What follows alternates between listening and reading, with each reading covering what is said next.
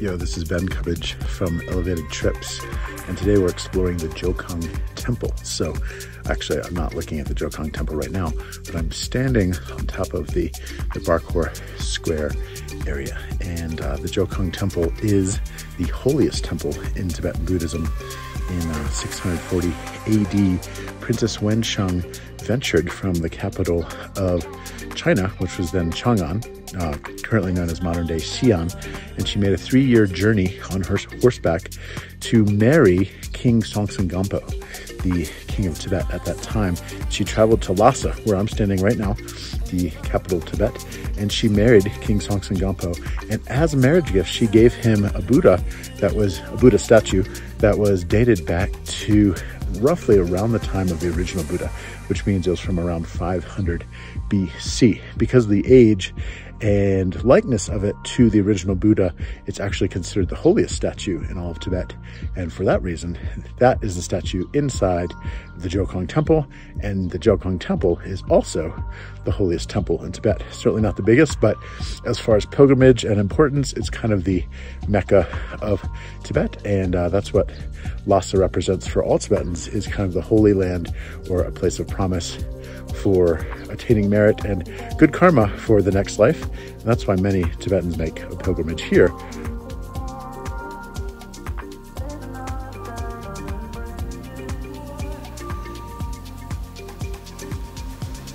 One experience that you just got to try, you'll probably get a little bit ripped off as a foreigner, but it's still really fun, is this rickshaw driving.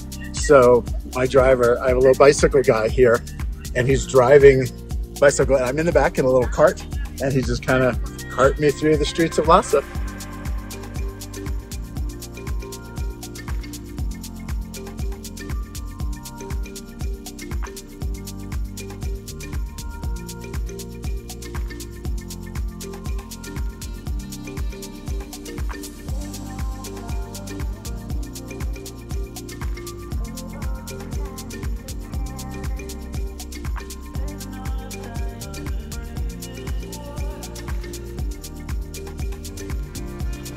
Okay, this is it. This is the super exciting energy that you really want to feel when you reach Lhasa. All the pilgrims are, are, out. There's thousands of pilgrims walking this morning. They're spinning their prayer beads. They're saying their prayers and their mantras, and they're all here for this one temple, the Jokhang Temple. And that is what we're walking right now. We're walking the Barkhor Circuit, which is sort of the one kilometer pilgrimage around the temple that people will walk. Sometimes they'll walk at one time, three times, maybe even 108 times, they'll circle this temple. And it's all about achieving merit and good works to visit the holiest temple in Tibet, which is right behind me right here.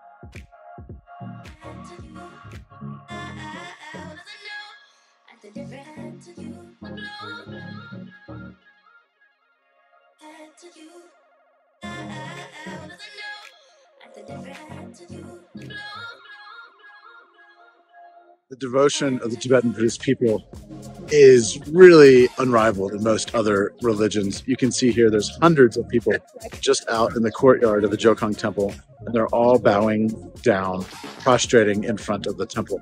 So there's people that prostrate here. Uh, they'll, they'll take a step, they'll prostrate, and they'll take a step and prostrate. And that's how people move through and to the Jokhang.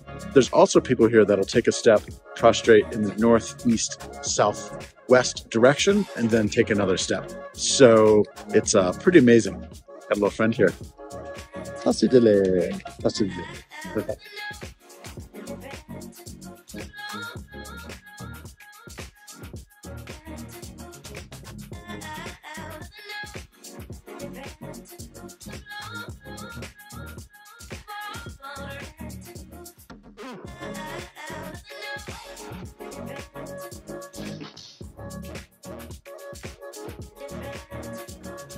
So we're inside the Jokhang Temple here, the holiest temple on the Tibetan Plateau. We're on the second floor, uh, so we're actually allowed to take videos in this courtyard area, looking down into the Jokhang Temple. There's thousands of pilgrims that visit this place every day. They'll walk 1,000, 2,000, sometimes even 3,000 kilometers to get here.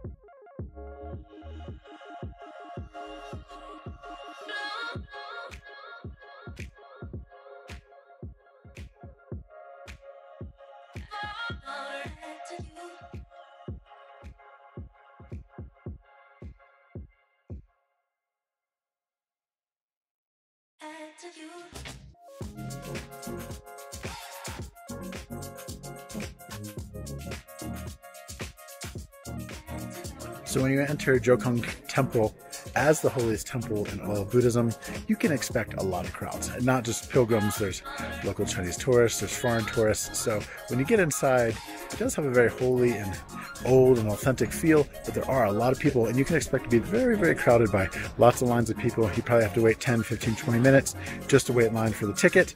And then once you're inside, it's a very small space with a lot of people. So if you're not into big crowds and being crowded, I'd say, you know, maybe skip this one. But as far as the importance of Tibetan Buddhist temples, it is uh, definitely number one and definitely worth uh, a full morning or afternoon, half day visit to the Jokhang Temple.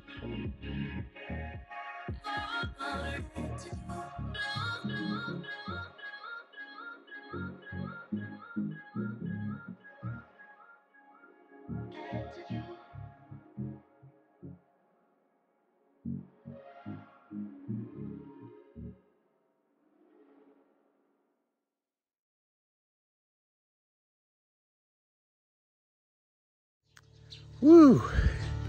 Day two. Woke up this morning, didn't sleep so well because of the altitude. Also, just drinking a ton of Indian masala tea, which is very caffeinated. But this is the view from the top of our hotel. And uh, this is just incredible. The Potala Palace is behind us, but you can't see it because it's kind of blocked by some, some of those wood piles. But yeah, this is the view from the Barkhor area around the Jokhang Temple in the morning.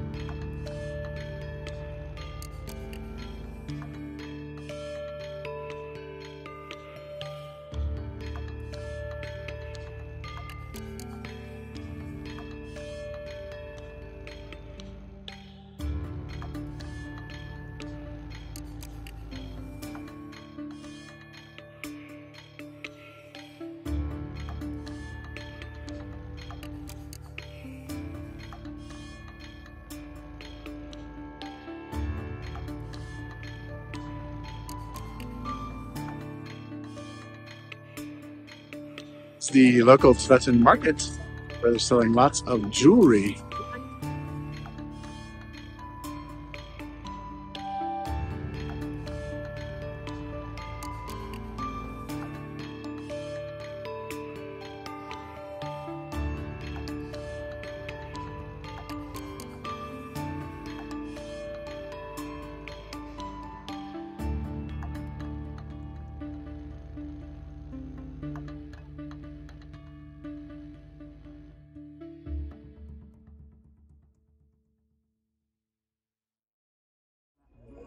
You really have anything you want to buy. I mean, anything from super cheap shoes to Tibetan artifacts, old furniture. If you're looking for Tibetan rugs, prayer beads, anything around Buddhism or Tibetan culture, this is a great place to find it. And these people have come from all over Tibet, not just Lhasa area, but from Kham Tibet, Amdo Tibet, all parts of the Tibetan plateau. And they're all here for one reason, which is to walk this beautiful square and to worship at this particular monastery. So really cool to be here and just love being out here in the morning.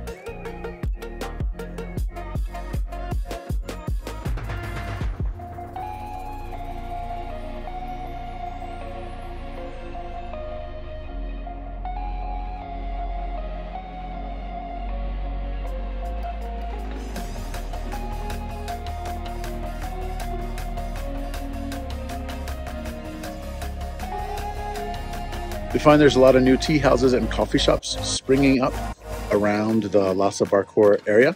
Uh, most of the food you'll find here is going to be Chinese style food mixed with Tibetan food. Uh, highly recommend the Tibetan Family Kitchen. If you are walking through the Barkhor and spending a few days here in Lhasa, they have probably the best momo in town. And momo is a, uh, a dumpling with yak meat inside of it. And um, yeah, there's also a mix of Indian restaurants, Chinese restaurants, hot pot. I mean, anything you're really looking for, it's here. You can you can eat pretty diversely for at least three or four days, and then uh, move on to Shigatse and Everest Base Camp if you choose to leave Lhasa.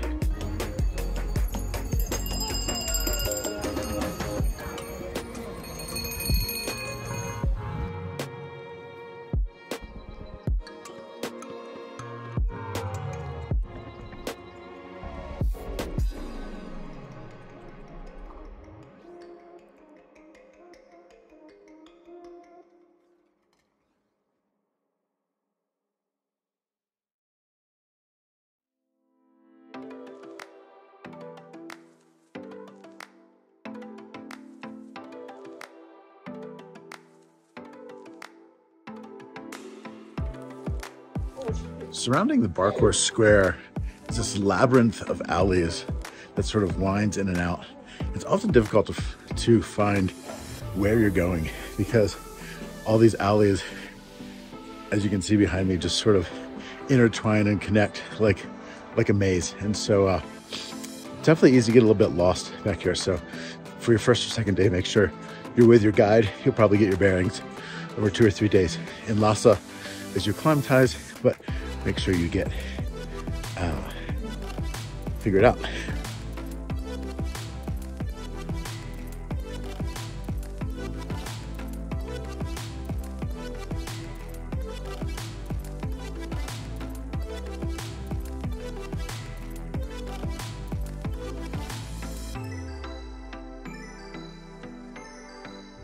After a couple laps around the Barkhor Square, we're gonna hit the Summit Cafe. This is American owned and started cafe, probably the best coffee shop in Lhasa, in my opinion. And uh, it's right off the Barkhor Square and a good place to get a cup of coffee in Lhasa after walking the Barkhor a few times.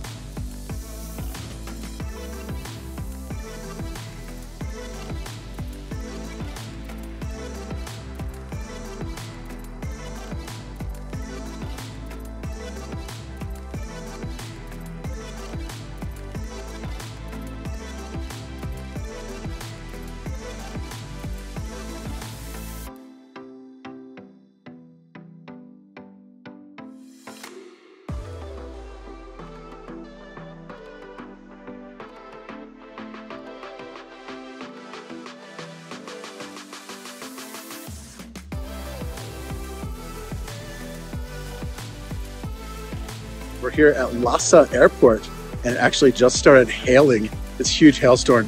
Storm just broke out behind us. And uh, this is the first time in really three years that Lhasa is actually open to foreigners. There's a month or two during COVID where foreigners could actually come in, but essentially it's really been closed since about February, March 2020. And so this is a big deal. I'm probably one of the first foreigners to be walking inside of Lhasa Airport and getting out of Lhasa Airport and doing the trip to Everest Base Camp. So that's pretty exciting, and we're excited for uh, China to be opening up, Tibet to be opening up, and travel permits to be issued again after almost three years where people haven't had any work, and the tourism industry has just grinded to a halt down here. So it's nice to see people getting back to work and things getting back to normal.